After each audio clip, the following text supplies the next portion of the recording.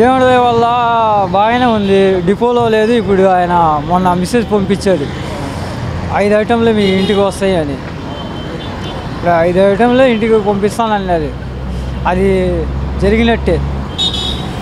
Next వచ్చి మనకు ఇల్లుకి డబ్బులు కట్టాం. పన్నె సింగిల్ బెడ్రూమ్కి పన్నెండు వేల ఐదు వందలు. అది ఒకటి అయితే చాలు. ఇంకేం లేదు. లేదు. అదే పరిపాలన ఈయన చేస్తాడని మనకి నమ్మకం ఉంది. ఎందుకంటే ప్రజల్లో ఉంది ఆ నమ్మకం. ఆడపిల్లలకి నెలకి పదిహేను వందలు కూడా వేస్తానన్నారు అది పది సంవత్సరాలకి అది కాదు. ఇప్పుడు చేస్తానన్నాడు ఆయన. అది చేస్తాడని నమ్మకం ఉంది అది. ఎందుకంటే కన్ఫామ్గా ఉంది. మార్పు రావాలి ప్రజల్లో అంటే మార్పు వచ్చింది అలాగే. పక్కగా.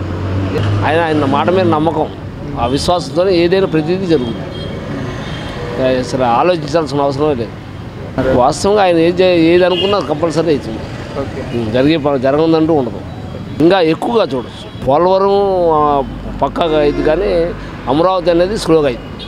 అయిందా? అవ్వలేదుగా ఇంకా? అప్పుడే తెలుస్తుంది అంటారా? ఇంతేనా? ఈ మళ్ళీ వెళ్ళి సీట్లోకి వెళ్ళి పాము అవ్వాలి అక్కడ అంతా ఇది అవ్వాలి కదా. రెండు మూడు నెలలు అయితే కానీ చేయడు. ఏం చేస్తాడో చూడాలి అప్పుడు.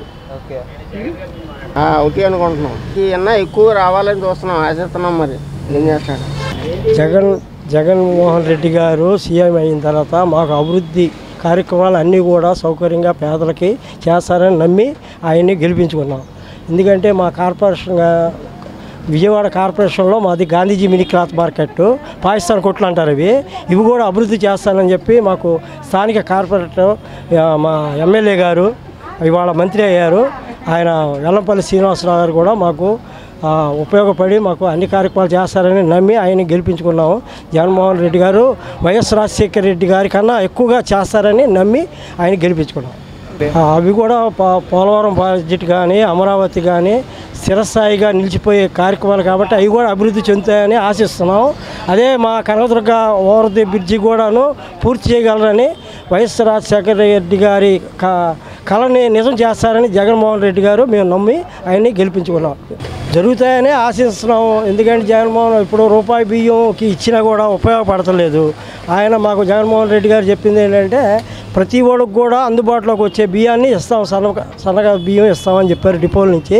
అవి మా అందరికి కూడా పనికొస్తాయని ఆశిస్తున్నాం. అదే పేద విద్యార్థులకు కానీ స్థానికంగా ఉన్న విద్యార్థులకు కానీ వాళ్ళందరికీ కూడా నాలుగు లక్షల మందికి కూడా సవ్యంగా ఇస్తారనే ఆశించే వాళ్ళు కూడా నమ్మి కార్యక్రమాన్ని ఇది జగన్మోహన్ రెడ్డి గారిని గెలిపించడానికి కారణాలయ్యాయి. ఇప్పుడు రాజశేఖర రెడ్డి గారి కన్నా గొప్పగా చేస్తారు అనుకుంటున్నాం బాబు.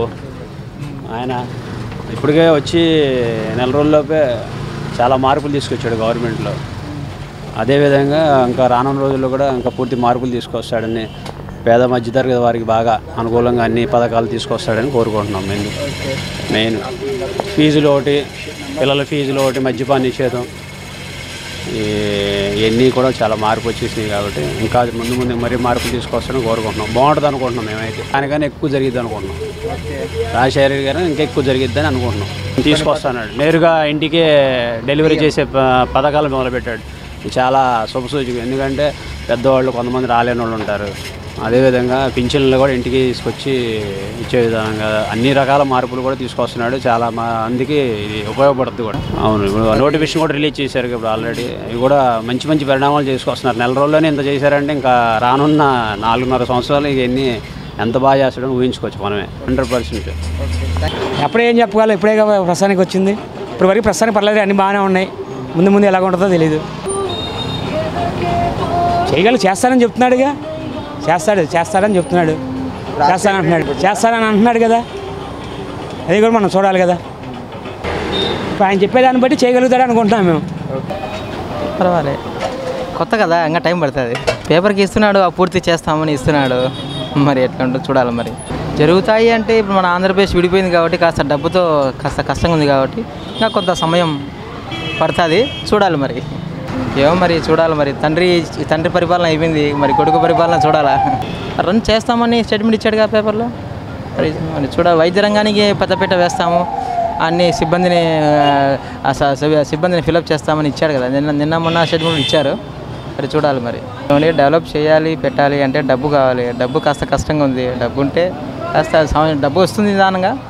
కొంచెం లేట్ అవుతుంది అంతే. అవుతుంది. డెవలప్ అవుతుంది. యంగ్ డైనమిక్ సీఎం లాగా అతని ఆలోచనలు కూడా అలాగే ఉన్నాయి. నవరత్నాలు స్కీమ్ కానీ ముందు లంచగొండితనం ఎక్కడి నుంచి స్టార్ట్ అవుతుందంటే రాజకీయ నాయకుల దగ్గర నుంచి. కానీ అక్కడే ఆయన యాక్షన్ మొదలుపెట్టాడు. ఎటువంటి పరిస్థితిలో లంచం అనేది మీ మీద నిందలు వస్తే ఫస్ట్లోంచి అక్కడి నుంచే రాజకీయ నాయకుల్ని బ్యా వెనక్కి పిలుస్తాను రిజైన్ చేయమని చెప్తూ అదొక నాంది. అతని పరిపాలనకి అతని అదొక నాంది. బాగుంది పరిపాలన. ఈ పదిహేను రోజుల్లో పరిపాలనే నాంది పలుకుతూ ఉంది. కొత్త పరిపాలనకి శుభసూచికం ఒకేసారి మూడు వేలు ఎవరూ చేయలేరు. ఇవాళ మన రాజకీయ ఆర్థిక పరిస్థితి మన రాష్ట్ర ఆర్థిక పరిస్థితి చాలా ఇదిగా ఉంది. అంతకుముందు ప్రభుత్వం అలాగే ఉంది. ఇప్పుడు ప్రభుత్వం ఇలాగా ప్రభుత్వాలు మారినా ఆర్థిక వ్యవస్థ మారలా. సో రెండు వందల యాభై చేస్తమే కష్టం. అతను అనుకున్నట్టు అంచెలంచెలుగా పెంచుతాం అనేది మంచి పరిణామం. రాజశేఖర రెడ్డి గారి పరిపాలనగా ప్రతి ఇంటికి ప్రతి గడపకి ప్రతిఫలాలు అందాయి. కానీ ఈయన అంతకంటే మంచి పరిపాలన అందిస్తాడు యువకుడు. తన సాయశక్తులా కేంద్రం నుంచి నిధులు తెచ్చి తెస్తాడు. ఇంతకుముందు ఎప్పుడూ లేని అవి ఈ వీడియో గనుక మీకు నచ్చినట్లయితే లైక్ చేయండి షేర్ చేయండి. మరిన్ని వీడియోస్ కోసం మా ఛానల్ను సబ్స్క్రైబ్ చేయండి.